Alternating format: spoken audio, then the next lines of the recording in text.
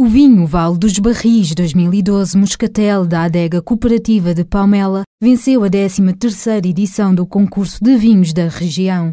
Para além do melhor vinho, Vale dos Barris 2012 conquistou também o título de melhor vinho branco pela Comissão Vitivinícola Regional da Península de Setúbal. O enólogo Luís Silva afirma que não estava à espera desta classificação e reforça a aposta da adega. Estamos eh, conscientes da qualidade dos nossos vinhos. Eh, agora, esperar ganhar o prémio do melhor vinho, não, nunca estamos à espera. A nossa aposta é nítida, é a relação qualidade-preço.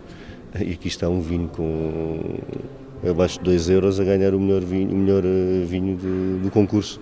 Portanto, é preciso ter algum engenho para, para, com pouco orçamento, fazer um vinho com tanta qualidade. Na cerimónia realizada na Igreja de Santiago do Castelo de Palmela, foram atribuídas 27 medalhas de ouro e 6 de prata. Para Henrique Soares, esta foi uma edição abençoada. A 13 edição foi mais uma vez uma edição abençoada em que premiamos, como acabaram de, de assistir, um conjunto diversificado de vinhos e de empresas Tivemos mais uma vez um número muito significativo de, de, vinhos e de empresas a concurso. Portanto, é um concurso de facto já tem um peso muito significativo na nossa região. Com quatro medalhas de ouro e duas de prata, a Casa Irmelinda Freitas venceu o prémio de melhor vinho tinto da região com Quinta da Mimosa 2010, enquanto que o Moscatel Roxo 2011 da Quinta da Bacalhoa foi destacado como o melhor vinho generoso.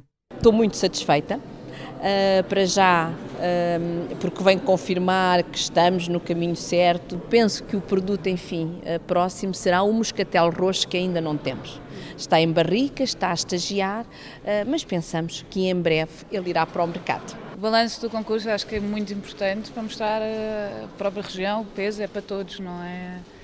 E, e, a própria região em si que está, está de parabéns. A 13ª edição do concurso de vinhos da Península de Setúbal contou com a presença de cerca de 20 produtores que enviaram a concurso 100 vinhos, dos quais apenas 33 receberam medalhas.